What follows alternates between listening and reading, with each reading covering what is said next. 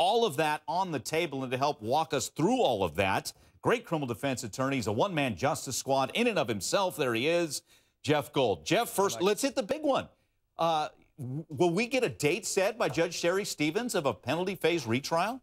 You know, I don't think we'll get a real date today. These issues have to be settled first. Now, it is possible that if all these issues are settled, if all three of those big issues are settled, we might get a date. But I think not. I think that uh, we've got to go through these issues. She's got to make a decision. It's a closed hearing. She may just hear argument and then not make a decision yet. So I think we've got some time till we get a real date. Okay, let's let's hit some of these issues, time permitting here. Change of venue. What are the odds that that's the Judge Stephens, everybody's going to say, okay, great, change of venue. Let's move it out of Maricopa County.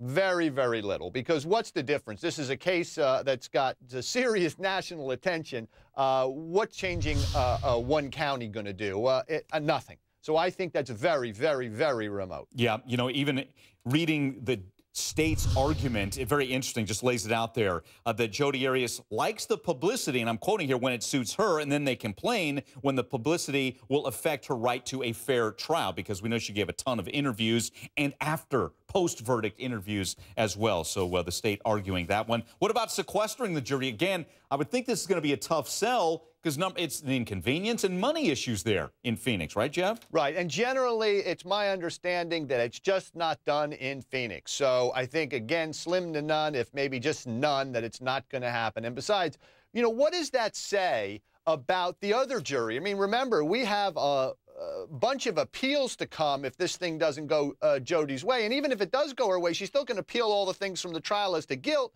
So um, what would that say if the judge now says, uh oh, we have a problem. Mm. You know, Houston, we've got a problem. We've got to change the way we're doing something. That means there's doubt on how she did things before. Not yep. going to happen. Okay, let's hit this is an interesting one. This is the modern era here to, to check jurors' Twitter accounts. And we saw well, social media looked at in the Zimmerman case. Could we see it here?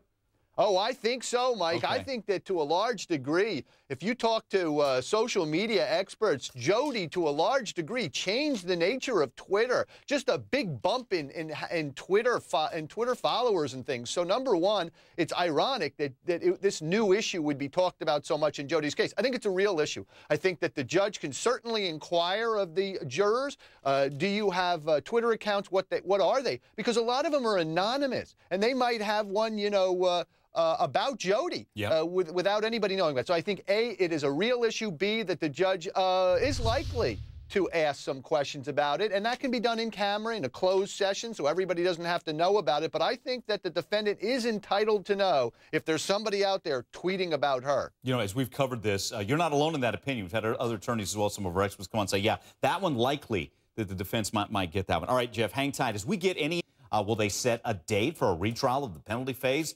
Back with us, our one-man justice squad. He's criminal defense attorney Jeff Gold. Let's hit that one. Are we going to get a date today, Jeff, on a, a retrial?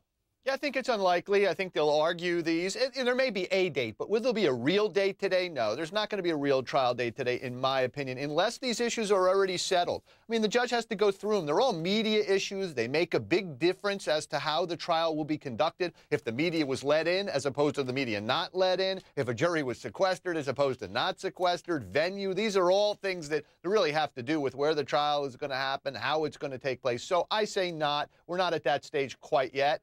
Okay. Again, by the way, we have one of our, our, producers right there in Phoenix. If we get any information, if we get any footage, we'll turn it around for you and let you know what's going on. Hey, Jeff, let's go rapid fire here through the big issues that are being dealt with in this hearing. All right, let's go uh, right down the line. Change of venue. What are the odds that's happening? Uh, very unlikely. Uh, this is a case which has gotten national media.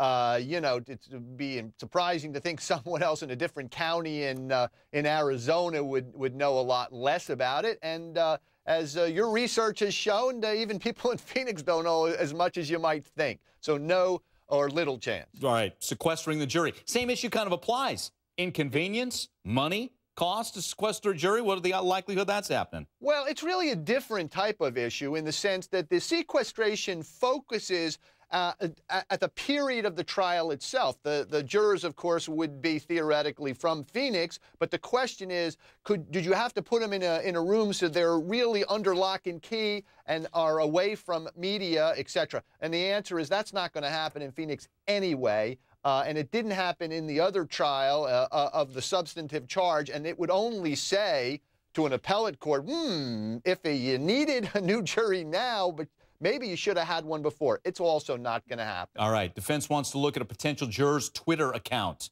You think that's happening? Yeah, I do. I think that is a legitimate, uh, modern day type of uh, motion that, that ought to be granted, especially in this case. Uh, Jodi Arias, uh, you know, made Twitter in a, in a lot of ways. I think there was a huge spike in Twitter just because of Jodi Arias, and then, of course, Zimmerman after it. I think we're in the modern age. You want to know if one of those jurors has an anonymous account called, you know, Jodi Arias whatever. You know, yeah, uh, these yeah, are things you should, and you could do right, and you could do it in in in camera, meaning in chambers or in a closed hearing, so everybody doesn't have to know what your your Twitter account was. But I think it's very legitimate. Got it. Okay. How about questioning the potential jurors individually? Yeah, I think that that's something that should be done in a case like this. The judge usually asks general questions. Uh, I think it can be done, but every place has its own procedure that they're used to doing. In fact, even in, in, in a county, a judge will have a procedure versus a different judge. And, and no one's to say which is better or not unless you have an appellate opinion that determines you have to do it, and that's not the case here. So that'll be up to the judge. Um, you know, usually they'll do general questions, and then when there becomes something to ask a juror, then go privately or, or just asked individually. Hey, last one real quick. Limiting live media coverage. Yeah, I don't think that's going to happen for the same reason as uh, the, the other one I mentioned, because if you say the media has been so damaging, we've had the, the substantive trial after all, and you say that didn't work out, well, what does that say for appeal? That gives it, you know, to grant it now is to say there was a problem before. Not going to happen. Got it. Great work, Jeff.